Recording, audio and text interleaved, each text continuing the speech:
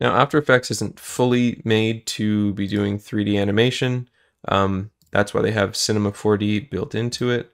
We'll just, uh, actually, let me create a nice little gradient layer for us for our background.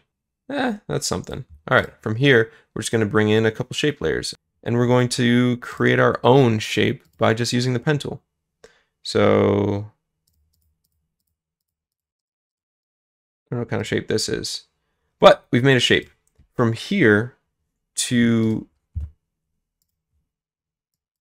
make things work to have 3D objects, we just have to turn on this, which makes the objects 3D.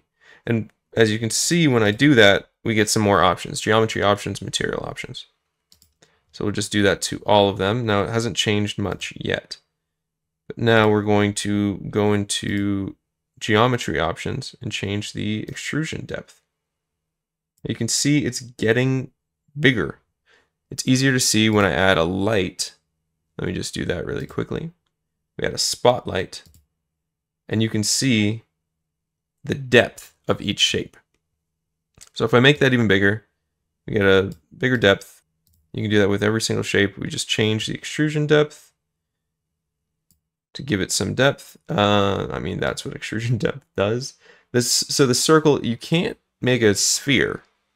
But you can make this kind of cylinder. So if you want to make a sphere, you doesn't really work. You can make things look like a sphere with, with shading and things like that. That's probably actually better to do in 3D. But yeah, that's how you create 3D shapes.